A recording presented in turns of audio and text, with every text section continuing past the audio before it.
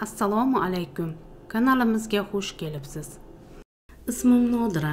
Oilaliman uch o'g'il farzandim bor. Erim g'amxo'r.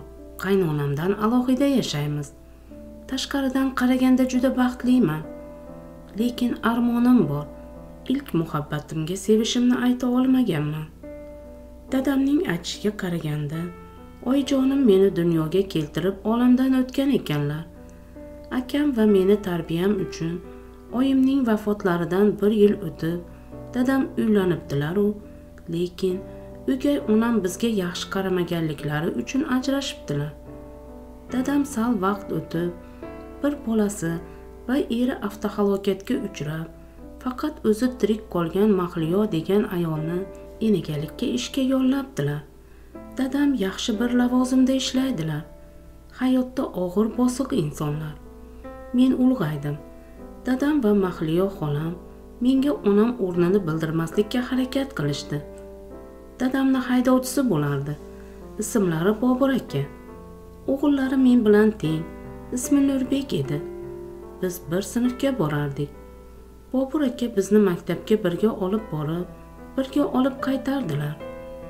Nurbek menga juda mehribon edi. Ulg'aydik. Chiroyli bo'lganligim uchun oshiqlarim ko'p edi. Lekin nurbek meni himoya qilardi. Nurbekka nisbatan qalbimda nimadir his qilardim u ham menga befarq emasdiyu lekin aytmasdi. Kunlar shu zaylda o'tardi.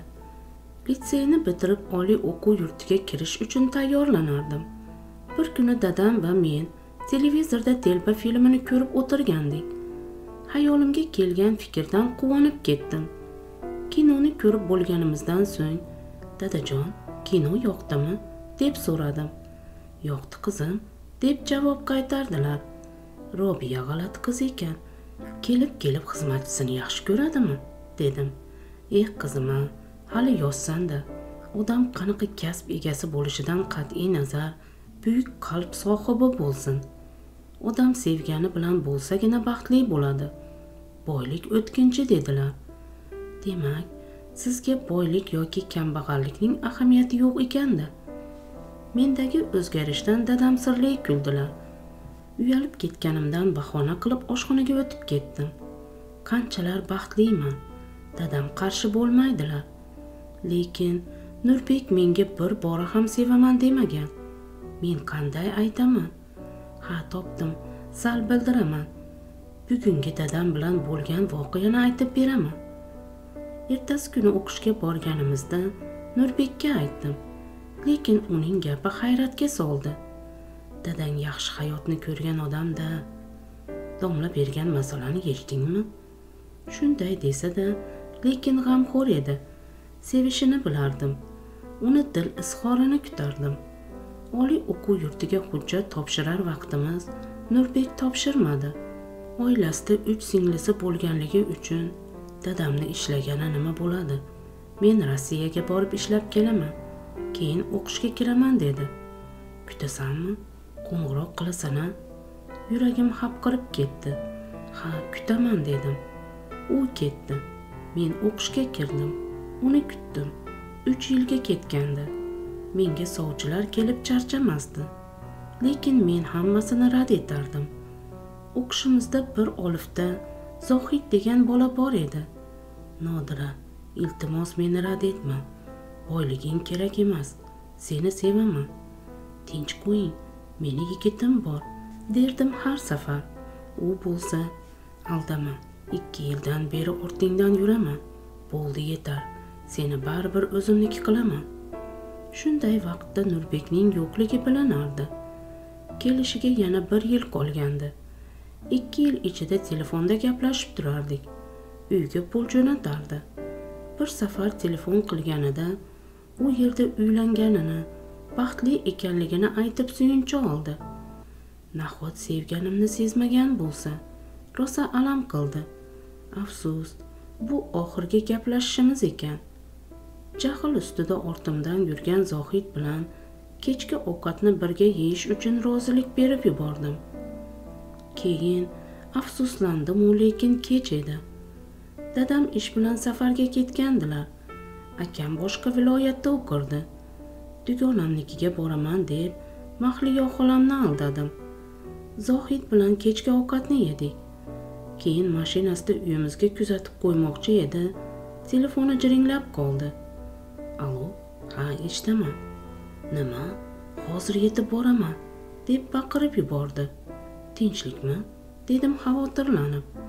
Yo'q oyim og'irlashib qolibdilar dedi. Men indamadim. Birga ularnikiga bordik. Yur nodira tez kir oyim yolg'iz deya tez kirib ketdi. Orqasidan men ham kirdim.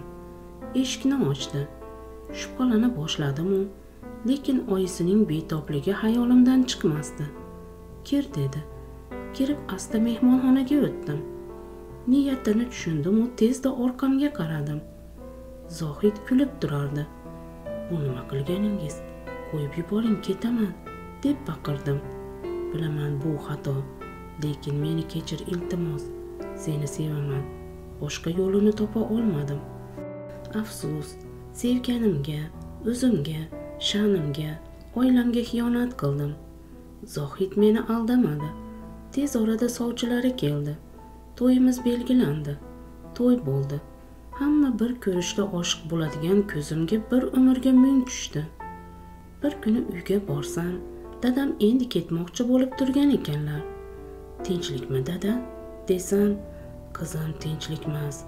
Bobur akangni o'g'li nurbek rossiyadan kelganiga bir oy ham bo'lmasdan olamdan o'tdi. Yuragi kasal ekan.